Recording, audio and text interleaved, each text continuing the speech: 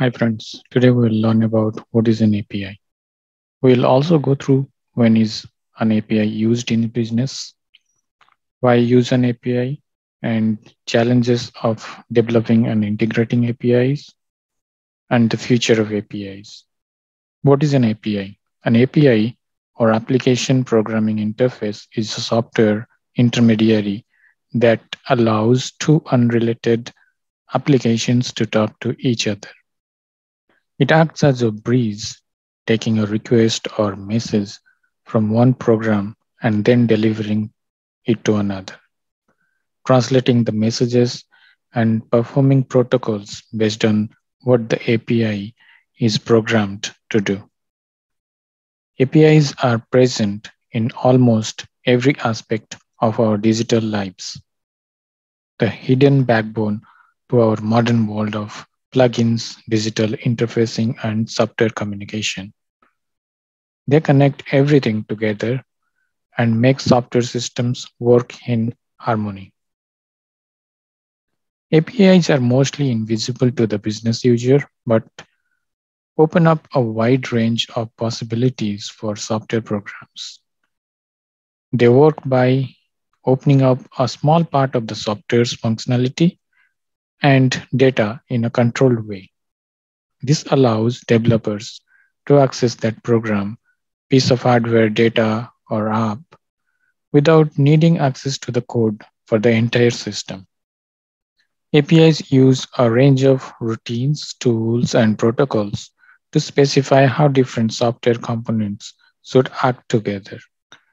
There are two types of APIs, private and public.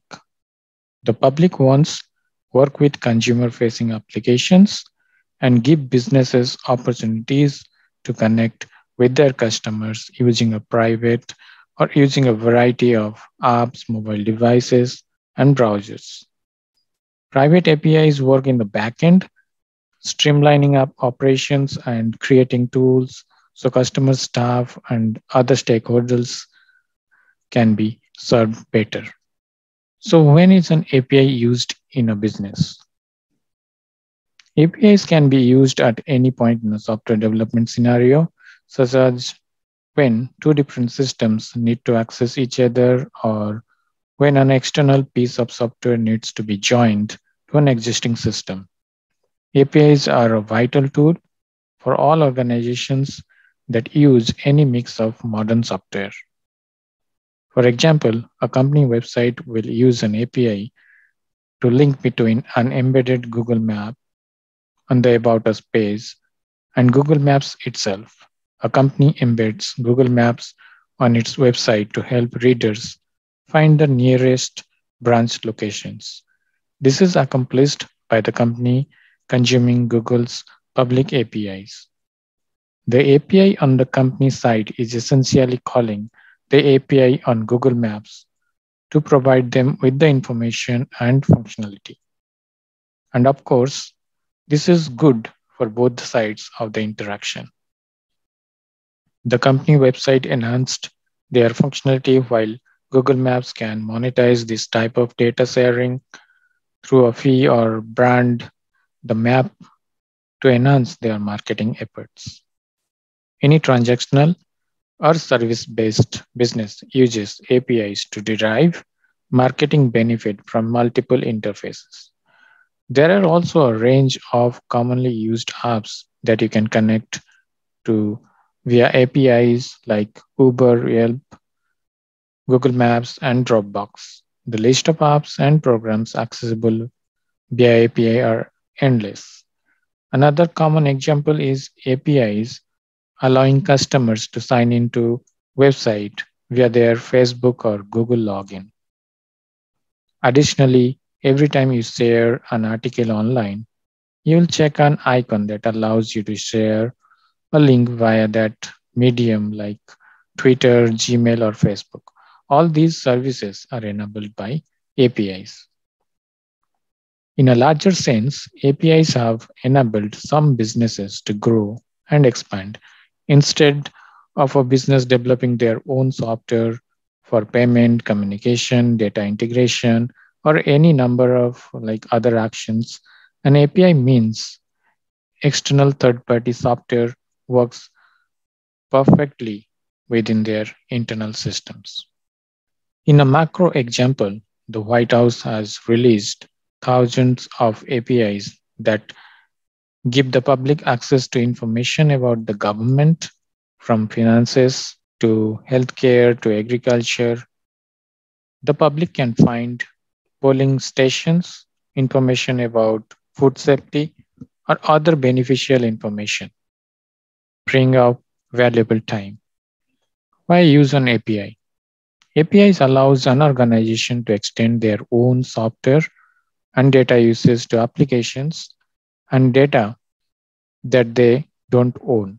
This allows a range of benefits such as increased functionality, cost savings, tech innovations, and streamlined operations. Increased functionality for customers. Business can offer customers an enhanced customer experience because they have access to whole new data sets and functions. For instance, when you embed a Google map into your website, you saved the user from having to click on yet another website or application, saving them time, increasing the likelihood that they will be a repeat customer. Save money. Rather than hiring expensive developers to create custom software, companies can save seamless integrations across apps and programs together using APIs. Companies can leverage existing software rather than developing their own, saving money and on R&D. Save time. There are no delays in software development as the API is generally already written and just needs integration with each end. Communicate better. As new software is added to our business, APIs integrate everything together so the flow of information is seamless. Link seamlessly. Almost any smart application or appliance is now linked to the internet. From fridges to printers, modern technology is now a wave of items.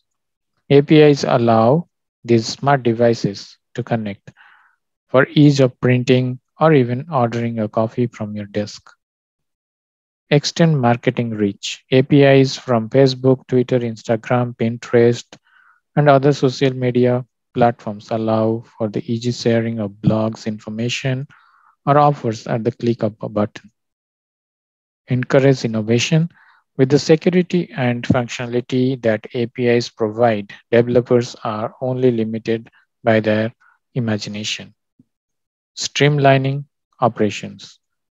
For instance, if a business is developing a travel app, an API allows a customer to go from the plane to a ride share to the hotel without having to leave the interface or log in elsewhere. With APIs, business can link booking, payment, and fulfillment components together. Innovate faster, faster innovation with less barriers to change.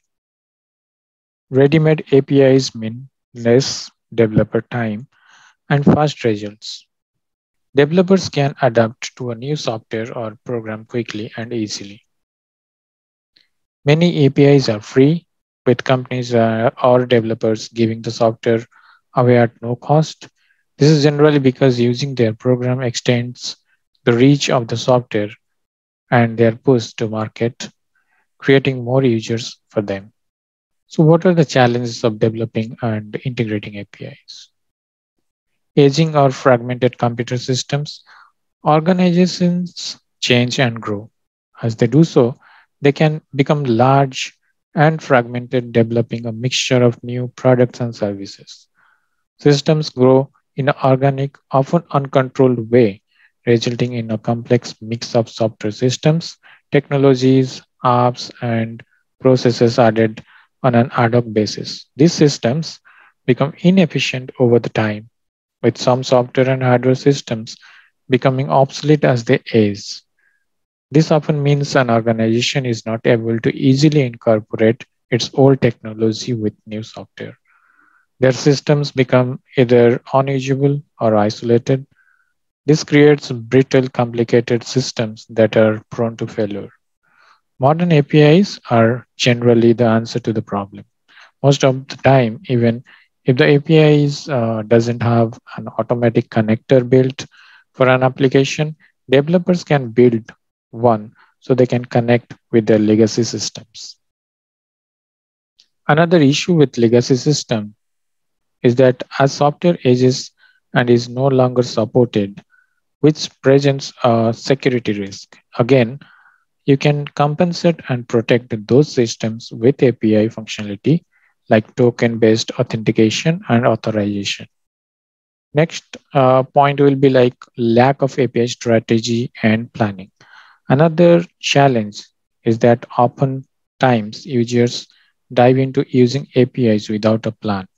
Like any strategic initiative, APIs will only be as successful as the plan behind them. You need to plan for the entire life cycle from creation to development to testing to deployment, monitoring, and retirement of APIs. Of course, if you are just using one or two APIs, this is not a problem. But often, most companies will use dozens, hundreds, if not thousands of APIs in their internal and external systems.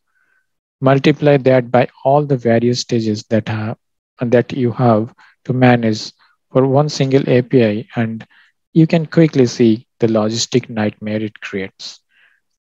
Users should start with a comprehensive plan for each API much like you should uh, like you draw a plan for a business to get the most out of the program.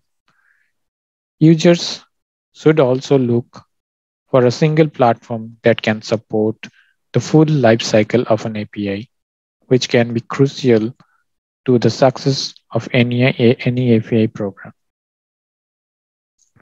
the best packaged and marketed apis which really can only be accomplished with the full lifecycle API platform are the ones that are most successful. The future of API, these small software intermediaries enable huge transformational potential for any company, like large or small. The ability of programmers to connect different applications and systems to form a cohesive, stable software solution is almost limitless. Using components to create software rather than building from scratch means expensive and time consuming specialized software developments may be a thing of the past. The future of APIs is in artificial intelligence and machine learning. AI is developing autonomous software that exposes its interface and registers itself with an API database where it finds a relevant API and installs it without any human interference. APIs encourage innovation and freedom. API standard behaviors are still being established, but overall APIs are an excellent software intermediary that fosters innovation for businesses. APIs will carry a bigger role moving forward, and app developers create programs designed to work together with a range of other software. Automated APIs may not be far away, making systems work that much faster and easier together. So in this lesson, we learned about what is an API, when is an API used in business, why use an API, challenges of developing and integrating APIs, and the future of APIs. Thank you.